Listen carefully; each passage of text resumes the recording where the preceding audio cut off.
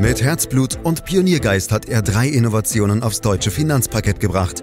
Dabei treibt ihn stets eine Frage. Wie können wir die Menschen in Deutschland zu besseren Anlegern machen? Karl Matthäus Schmidt, Vorstandsvorsitzender der Quirin Privatbank und Gründer der digitalen Geldanlage Quirion. Freuen Sie sich auf Klug anlegen, den Podcast zur Geldanlage. Alles wendet und wandelt sich, so der Eindruck vieler Menschen hierzulande in den vergangenen Monaten. Denn wir sehen quasi parallel eine Zeitenwende, ausgerufen von Kanzler Scholz im Deutschen Bundestag, eine Energiewende spätestens seit dem Beginn des Russland-Ukraine-Kriegs und eine Zinswende mit sprunghaft gestiegenen Kapitalmarktrenditen. In der Folge haben wir eine tiefe Verunsicherung an den Kapitalmärkten beobachten können, und zwar in allen Anlageklassen von Aktien über Anleihen bis hin zu Kryptoassets. Und wie immer lassen sich diese Ereignisse ganz unterschiedlich interpretieren, so auch heute in diesem Podcast, den Sie überall da abonnieren können, wo es Podcasts gibt, zum Beispiel bei Apple Podcast. Fragen an Karl Matthäus Schmidt, Vorstandsvorsitzender der Quirin Privatbank AG und Gründer der digitalen Geldanlage Quirion. Hallo Karl. Hallo Andreas. Ja, Karl, ist denn Zeitenwende ein Begriff, der die aktuelle Lage aus deiner Sicht gut und richtig beschreibt? Andreas, wir leben derzeit eindeutig in Umbruchzeiten.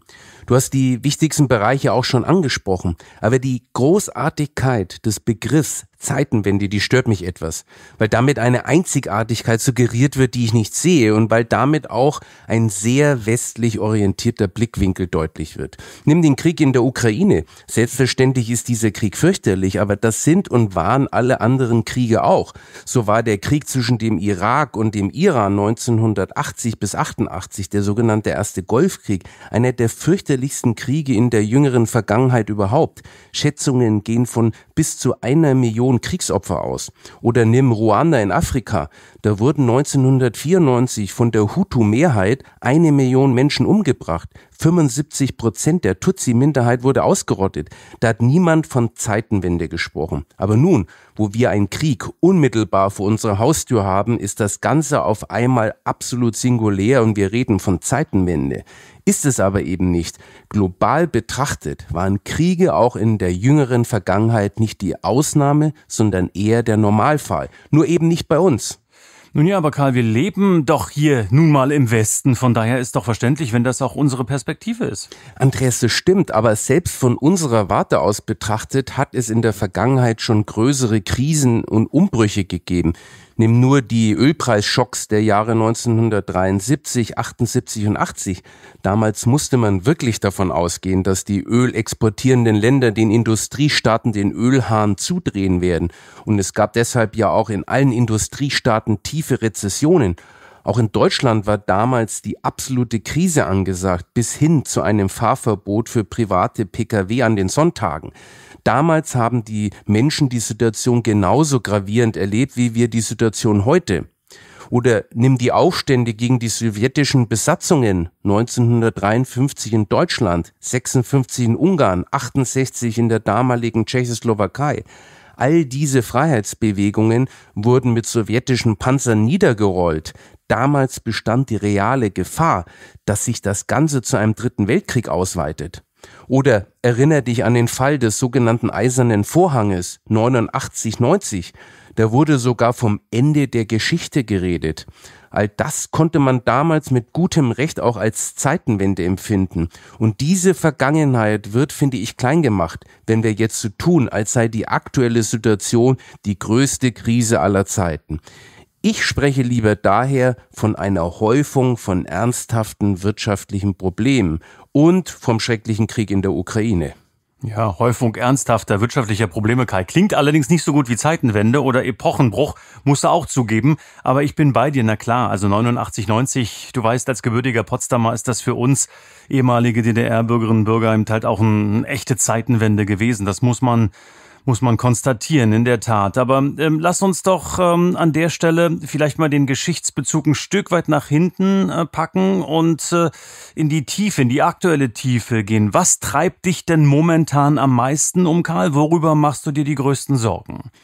Ehrlich gesagt sind es zwei Dinge, die mich aktuell am meisten bedrücken. Erstens, dass wir davon ausgehen müssen, dass sich der schreckliche Ukraine-Krieg noch länger hinziehen wird.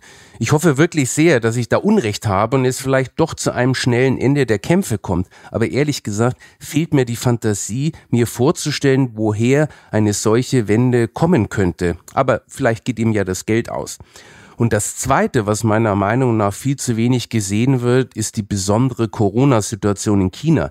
Diese radikale Wende in der Corona-Politik. Das heißt, die abrupten Lockerungen sind gesundheitspolitisch gesehen ein riesiges Experiment, von dem heute keiner weiß, wie es ausgehen wird. Die Wende könnte zu extrem hohen Todeszahlen vor allem bei den Älteren führen, weil gerade bei denen ja die Impfquoten extrem gering sind. Aber ich glaube nicht, dass die Chinesen neue Lockdowns verhängen werden, selbst wenn die Todeszahlen nach oben schnellen sollten. So zynisch das klingt, ich gehe davon aus, dass die das Virus durchlaufen lassen werden, um die Wirtschaft wieder auf Kurs zu bekommen. Dass dann viele Alte sterben, wird dann eben hingenommen. Auch da hoffe ich natürlich, dass ich nicht recht bekomme. Ja, das sind wirklich dramatische Umstände, die uns da aus China erreichen, obwohl wir gar nicht wissen, was da wirklich passiert. Bleiben wir dran und ich würde das Thema gerne im Verlauf dieses Podcasts auch äh, nochmal aufgreifen wollen, wenn ich darf, denn ich möchte natürlich äh, zunächst mal über die Situation hierzulande sprechen, Karl, speziell auf die Wirtschaft. Denn in diesen ja doch verrückten Zeiten sehen wir Verstaatlichungen wie bei Uniper beispielsweise, Enteignungen wie bei Rasneft und immer neue Preisdeckel, unter anderem bei Strom oder Gas. Ist das, Karl, wirklich noch die soziale Marktwirtschaft, die Deutschland in den vergangenen rund 70 Jahren, ja, ich würde sagen, ganz gut durch alle bisherigen Krisen gebracht hat?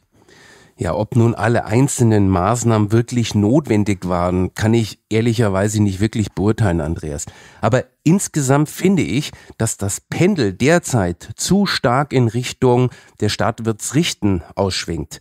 Es gibt bei uns eine zu starke Tendenz, dass alle Probleme am besten vom Staat gelöst werden sollten. Das zeigen ja auch viele Umfragen und das sehe ich äußerst kritisch. Aber trotzdem glaube ich, dass wir in Deutschland noch eine soziale Marktwirtschaft haben und dass sie auch noch funktioniert, auch wenn der Markt in der Presse häufig nicht besonders gut wegkommt. Unter Journalisten ist Kritik an der Marktwirtschaft ja sehr beliebt. Nimm nur den ersten Spiegeltitel des Jahres. Hat der Marx doch recht, warum der Kapitalismus so nicht mehr funktioniert? Hier wird ja im Grunde schon vorausgesetzt, dass die Marktwirtschaft nicht funktioniert. Wie du dir vorstellen kannst, Andreas, bin ich da ganz anderer Meinung. Das marktwirtschaftliche System funktioniert sogar ganz hervorragend, wenn man es nur lässt. Auch in der aktuellen Krise hat sich ja an vielen Stellen gezeigt, wie schnell und innovativ sich freie Unternehmen anpassen können. Und das hat auch eine soziale Komponente, weil dadurch ja auch Arbeitsplätze gesichert werden. Und unser Sozialsystem ist letztlich ja auch nur bezahlbar, wenn wir einen funktionierenden Unternehmenssektor haben. Ja, und in jedem Falle sind Krisenzeiten ja auch immer Zeiten der Disruption, vielleicht auch ja, Zeiten der kreativen Zerstörung, um dann wiederum Neues zu schaffen. Siehst du diesen Prozess in Deutschland schon gekommen, Karl, oder klammern wir uns noch verzweifelt an das Bewährte? Ich glaube schon, dass der Prozess auch in Deutschland in vollem Gange ist, aber eben im Unternehmenssektor und hier vor allem im Mittelstand. Das Beispiel der rasanten Corona-Impfstoffentwicklung ist hier besonders beeindruckend, finde ich. Wer hinterherhängt, ist halt oftmals der Staat. Schau dir nur mal die stockenden Prozesse bei der Rentenreform oder bei der Digitalisierung an. Oft habe ich den Eindruck, dass vieles erst auf den letzten Drücker kommt. Nimm nur mal das Problem des Fachkräftemangels oder den desolaten Zustand der Schulen oder unzureichende Infrastruktur im öffentlichen Nahverkehr oder im Brückenbau oder die Überregulierung in fast allen Bereichen all diese Probleme sind ja nicht plötzlich vom Himmel gefallen, sondern behindern die Wirtschaft schon länger. Oha, sag ich da nur. Ich spüre förmlich, dass da viel inhaltliches Potenzial, damit auch ein eigenständiges Podcast-Thema vielleicht schlummert. Vielleicht, äh, wenn du meinst, unter dem provokanten Titel Deutschland schafft sich ab, hat ja mal einer gesagt oder geschrieben. Wärst du dabei? Na klar bin ich dabei, Andreas. Das ist ein spannendes Thema. Obwohl ich es nicht so sehe, dass sich Deutschland abschafft. Das ist mir zu negativ. Wo ich höchstens mitgehen würde, ist, dass Deutschland sich in Teilen abschafft. Aber es erfindet sich eben auch neu. Und das können wir gerne mal vertiefen. Das klingt spannend in der Tat. Da bereite ich was vor und werde dich triezen mit meinen Fragen in einem der kommenden Podcasts, Karl.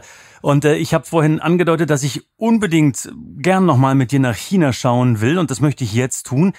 Welche Rolle spielt denn das Riesenreich in der eingangs zitierten Zeitenwende? egal welchen Aspekt der Zeitenwende du jetzt nimmst, so oder so finde ich, dass man an China mit seiner 1,4 Milliarden Bevölkerung auch künftig nicht vorbeikommt. Auch wenn jetzt viel über mehr wirtschaftliche Unabhängigkeit von China gesprochen wird, wirklich realistisch ist das aber nicht. Der Grundgedanke der Diversifizierung aller Wirtschaftsbeziehungen ist ja richtig. Da, wo sich Angebot und Nachfrage vernünftig auf eine breitere Basis stellen lassen, sollte man das auch tun. Das Beispiel der Energieabhängigkeit von Russland sollte uns hier eine ernste Warnung sein. Aber damit sind wir noch lange nicht von China unabhängig. Da muss man der Wahrheit auch ins Gesicht sehen. Die bestehenden Abhängigkeiten lassen sich nicht über Nacht reduzieren. Nimm als Beispiel nur mal den Klimawandel. Egal, was wir in Deutschland oder Europa machen, ohne China wird es nicht gelingen, die Erderwärmung einzuschränken. Da können wir uns noch so viel auf unser Role Model für die Welt einbilden. Ohne China erreichen wir überhaupt kein Klimaziel. Oder schau dir die Bedeutung Chinas als Komponentenzulieferer an. China dominiert den weltweiten Markt für Solarmodule. Die Internationale Energieagentur veröffentlichte im letzten Sommer Zahlen dazu. Der Anteil Chinas an allen Fertigungsstufen der Produktion beträgt inzwischen über 80 Prozent. Und speziell für Deutschland sieht das Ganze noch extremer aus. Im Bereich Solarzellen haben wir eine Abhängigkeit von unglaublichen 95 Prozent. Auch wenn uns das vielleicht nicht gefällt, aber das ist die Realität. Ja, das ist ein Wahnsinn, zumal wir ja mal Marktführer im Bereich der Solarzellen waren vor einigen Jahren, ehe dann alles in die Grütze gegangen ist. Auch wieder ein Bereich, wo man sagen kann, da war Deutschland mal führend und da sind wir komplett in die Gegenrichtung gegangen und da muss man ähm, wirklich mal durchpusten, wenn man sich diese Zahlen äh, zu Gemüte führt. Aber lass uns äh, vielleicht bitte auch noch einmal auf den 20. Parteitag der Kommunistischen Partei Chinas schauen. Im Oktober war es ja soweit, ist schon ein bisschen her, kann man also ein bisschen resümieren. Da wurde ja auch ganz schön Staub aufgewirbelt, oder wie siehst du das? Allerdings, Andreas, dieser Parteitag stand ganz im Zeichen des Machterhalts der Machtstruktur von Xi Jinping. Die ganze Partei ist mittlerweile darauf ausgerichtet. Dazu gehört auch, dass potenzielle Kritiker kaltgestellt wurden. Und einige dieser Kritiker standen ja für eine relativ liberale Wirtschaftspolitik.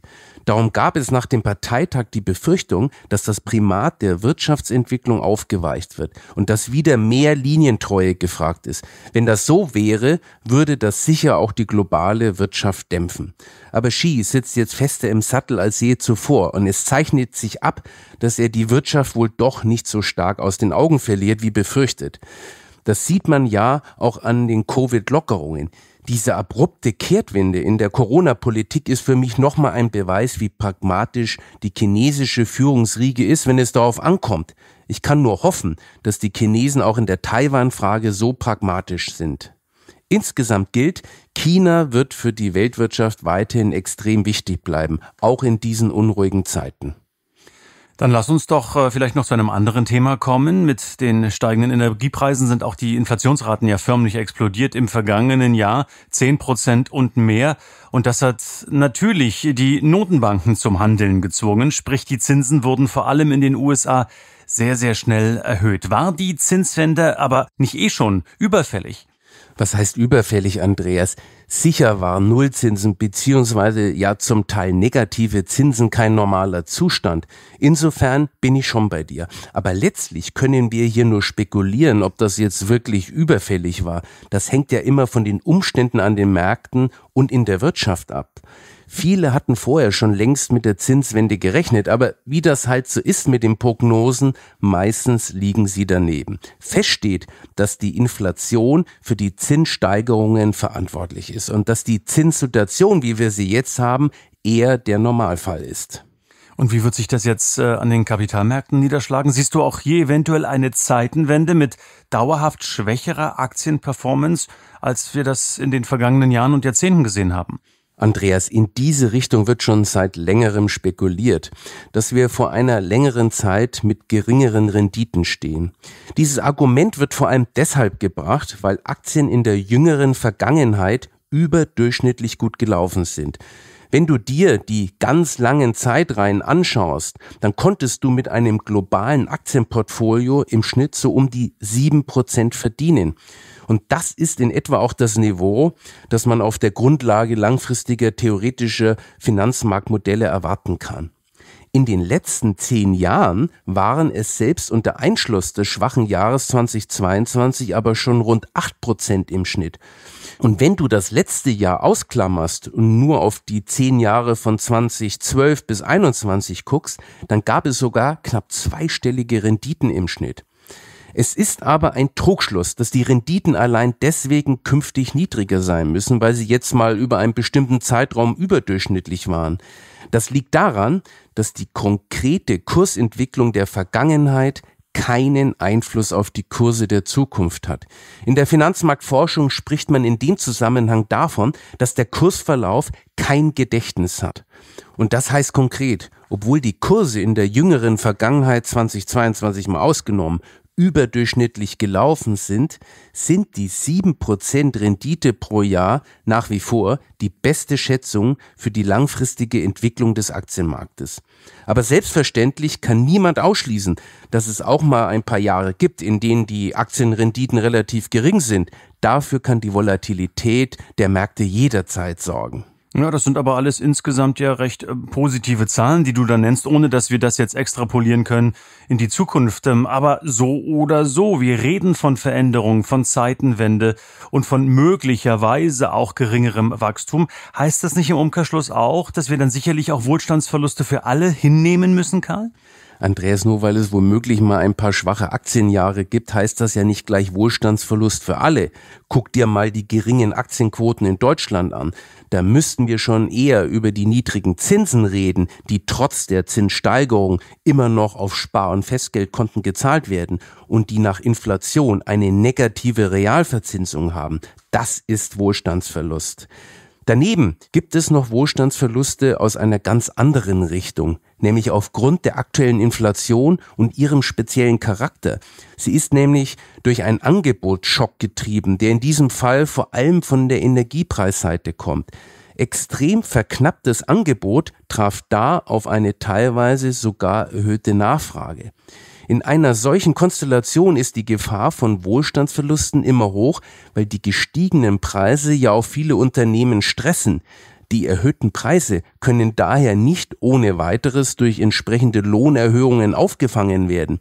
Eine angebotsgetriebene Inflation birgt also größere Gefahren für den Wohlstand als eine nachfragegetriebene Inflation, die es vor allem in Boomphasen gibt. Da geht es vielen Unternehmen dann per se besser und sie können auch bei Lohnforderungen großzügiger sein. Das ist aber ja in der aktuellen Situation anders. Und selbst wenn die Inflation schnell wieder in den Normalbereich zurückgeht in Richtung zwei Prozent, dann heißt das ja nichts anderes, als dass die Preise zunächst noch auf einen hohen Level verharren.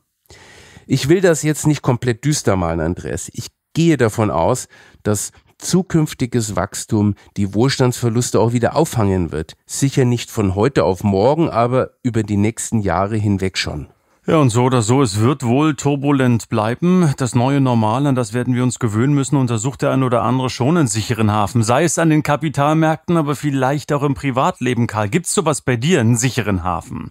Na klar, jeder Mensch hat irgendwo einen sicheren Hafen, aber ja, also für mich ist es schon irgendwie mein Zuhause, meine Küche und äh, das anschließende Abendessen mit der Familie. Die Küche als der sichere Hafen, das ist vielleicht auch mal ein schönes Thema oder eine schöne Überschrift für den nächsten Podcast, den wir außer der Reihe produzieren. Ähm, Zeitenwende, Epochenbruch, so möchte es Karl Matthäus Schmidt nicht bezeichnen, weil es schon immer Kriege und Krisen gegeben hat und von daher sollten wir gerade aus dem Blickwinkel des Westens hier nicht übertreiben. So sein Resümee. Danke ganz herzlich an Karl Matthäus Schmidt für diese Infos, für diesen Podcast, der jeden Freitag erscheint, den Sie am besten abonnieren können, meine Damen, meine Herren, um keine Folge zu verpassen. Oder wenn Sie ihn denn schon kennen, können Sie ihn auch teilen. Klug anlegen kann man teilen und zwar mit den Freunden und Bekannten denn ich vermute einfach mal, dass jeder mit diesem Wissen ein Stück weiterkommt im Leben. Und wenn Ihnen diese Folge gefallen hat, bewerten Sie uns, empfehlen Sie uns gern weiter. Mehr Infos unter www.quirinprivatbank.de. Ihre Fragen wie gewohnt unter podcast.